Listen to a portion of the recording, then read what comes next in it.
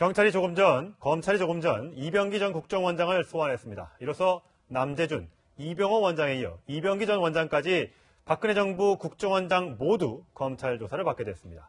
세 명의 전직 국정원장 모두 국정원 특수활동비를 청와대에 상납한 혐의를 받고 있습니다.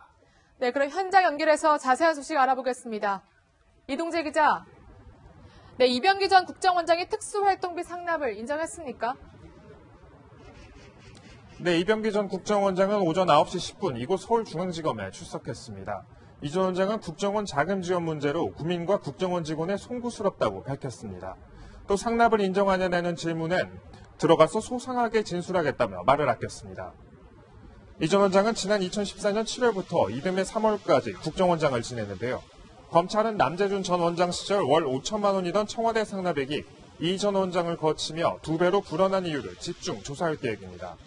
또 추명호 전 국정원 국장을 통해 조윤선 전 청와대 정무수석에게도 별도의 특수활동비를 건넨 혐의도 받고 있습니다. 이 전 원장은 국정원장을 마치고 대통령 비서실장으로 영전했는데 검찰은 국정원 자금 상납과의 대가성도 살피고 있습니다. 검찰은 오늘 조사를 끝으로 박근혜 정부 국정원장 3명에 대한 조사를 모두 마무리하게 돼 돈의 종착지로 지목된 박근혜 전 대통령 조사만 남겨두게 됐습니다. 자, 이번엔 이명박 전 대통령 관련 질문인데요. 현재 해외에 가 있는데 검찰이 이전 대통령을 직접 조사하는 방안을 검토 중이라고요. 네, 검찰의 칼날이 이명박 전 대통령 쪽으로 향하고 있습니다. 올해 안에 이 전 대통령이 소환 조사를 받게 될 것이라는 전망도 나옵니다.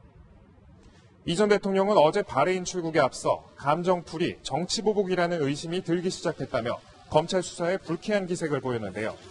검찰은 이와 관련해 특별히 언급할 입장이 없다며 직접적인 대응을 삼갔습니다. 한편 검찰은 오늘 김관진 전 국방부 장관을 불러 구속 후 첫 조사를 할 예정인데요. 군 사이버사의 정치 개입과 관련해 이 전 대통령의 지시가 있었는지 집중적으로 확인할 방침입니다.